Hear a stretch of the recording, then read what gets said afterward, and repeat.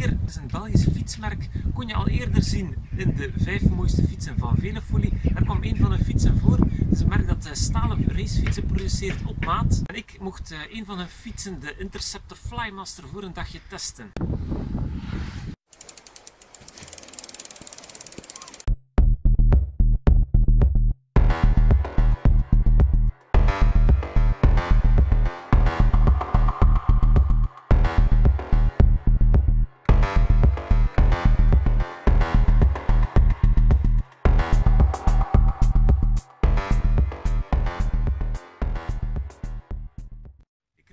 De cyclo van Kuurne-Brussel-Kuurne. Deze cyclo is ideaal om deze fiets te testen. Uh, de staal, de traditie en Kuurne-Brussel-Kuurne is ook een traditionele wedstrijd. Er zitten kasseinen, er zitten wat hellingen in en uh, het gaat langs geen gloeiende landschappen, prachtige Vlaamse velden en wegen. Nu ja, prachtig. Heel veel uh, betonbanen, wat ruwer wegdek hier en daar. Dus ideaal om deze een goede test te onderwerpen.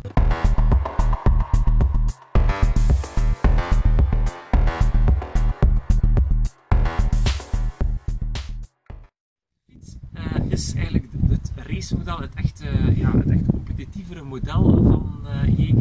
Het is bedoeld voor uh, mensen die eens iets anders willen. Het frame is dan wel gemaakt uit staal, maar de fiets zit vol met de laatste nieuwe innovaties. En bij staal moet je ook niet denken aan de ronde buizen uit de jaren 70. In samenwerking met Columbus Italia ontwikkelden ze dunnere buizen met een oversized vorm. True axle met schijfremmen, elektronisch schakelen, het zit er allemaal op. Je kiest zelf de kleuren en afmontage en alles bij Jeker zit hem in de details. Ik denk dat iedereen het over eens is dat het laswerk gewoon kunst is. De fiets wordt helemaal op maat voor jou gemaakt.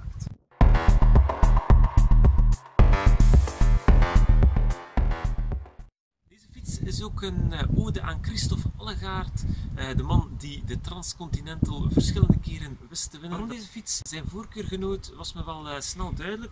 Het is niet echt een keiharde racefiets. Op betonbaantjes en wegen die niet helemaal strak waren, gaf deze fiets mij voldoende demping. Het was heel comfortabel mee te rijden.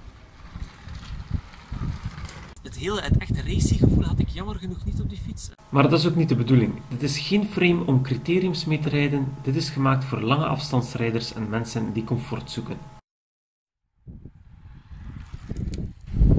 Dus het is vooral een exclusieve fiets. In deze kleurstelling vind ik hem ook bijzonder smaakvol. Op de toertocht had ik niet echt de indruk dat hij bij veel deelnemers opviel, maar toen ik dezelfde dag naar de aankomst van Omloop het Nieuwsblad ging kijken, waren er verschillende nieuwsgierige blikken en werd ik ook aangesproken over deze fiets. Echte liefhebbers weten deze dus zeker te waarderen. Wat kost dat nu? Wel, in deze versie zoals ik hem heb gereden met schijfremmen Ultegra Di2 SWS aluminiumwielen kost deze 5.999 euro. Het gewicht 8 kilo 900.